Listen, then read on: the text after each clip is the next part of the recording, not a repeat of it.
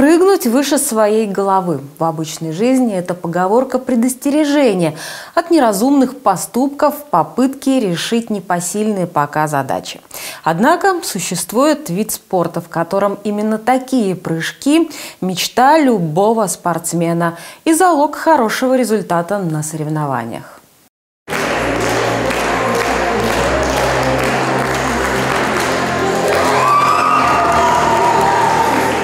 Спортсменкам в самой младшей возрастной категории здесь всего по 10 лет. А ведь у каждой за спиной от 3 до 5 лет упорных ежедневных тренировок и стартов. Так что результат говорит сам за себя. Хотя юные спортсменки ничего особенного в том, чтобы преодолеть планку на высоте своего роста, не видят. Бабочки в животе. Ну ничего, это не страшно. Главное собраться. И все. И все получится. Такой результат мечтал показать, наверное, каждый участник соревнований «Точка отрыва», прошедших в Ирбите в минувшие выходные. За 15 лет своего существования этот турнир повысил свой статус с городского до открытого областного. Так что в этом году в Ирбите больше 190 легкоатлетов собралось не только со всей Свердловской области. Были и те, кто приехал на соревнования из других регионов, преодолев для этого более 850 километров. Ну, во-первых, здесь вот супер младший возрастной возраст, ну, возрастная группа супер младше, 13 младше. У меня много таких вот малышей. Им тоже надо учиться, ездить, соревноваться.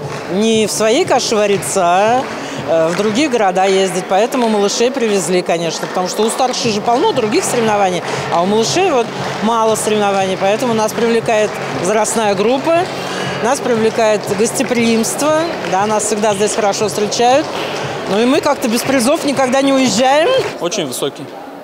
Да, не, я, я, я бы сказал, не ниже, чем на чемпионате России в Сочи на шиповке юных. Не ниже. Ну а результаты только подтвердили высокий уровень подготовки участников турнира. Так в одной из категорий наш Илья Боярников не просто победил. Он воспользовался возможностью установить свой новый личный рекорд и стать лучшим высотником среди сверстников в этом сезоне на общероссийском уровне.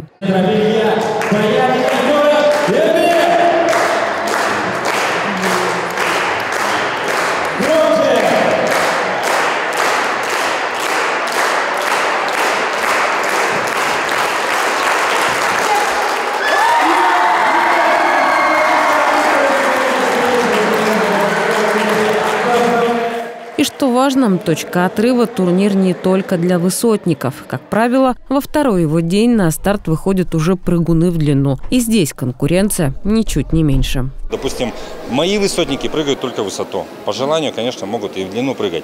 А вот, к примеру, спортсмены из города Алапаевск, они к нам приедут прыгать только в длину, и с ними мы встретимся завтра. Есть такие, которые специализируются в таком виде легкой атлетики, как многоборье. Многоборье – это и бег, и прыжки, и метание. Соответственно, эти спортсмены универсальные, они могут сегодня попрыгать в высоту, завтра в длину, и плюсом еще и выиграть эти соревнования в каждом этом виде.